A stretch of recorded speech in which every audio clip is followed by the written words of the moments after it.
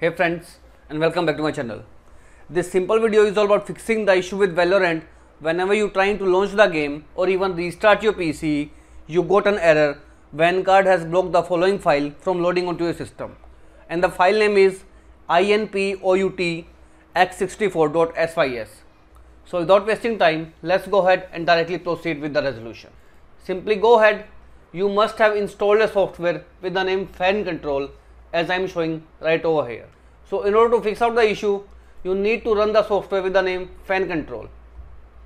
The following file inpoutx64.sys is a file related to this particular software.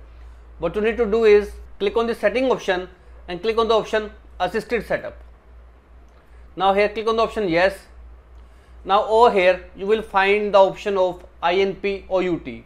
This is the particular file which is giving you the error whenever you restart your PC. All you need to do is to simply uncheck this particular file. Once unchecked, hit the OK button.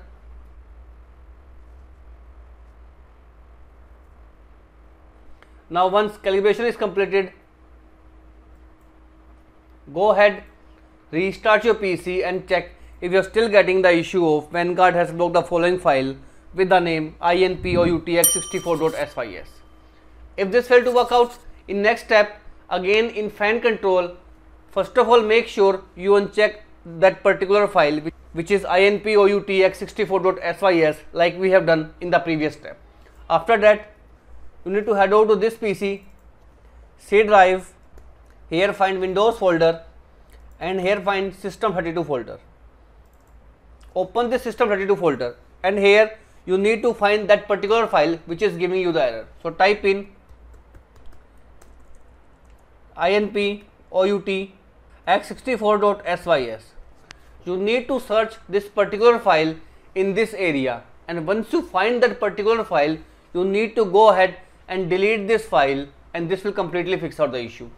I have not installed this particular software that's why this file is not present over here. So once you find the file go ahead and delete this file and this will completely fix out the issue of Vanguard has blocked the following file with the name inpoutx64.sys.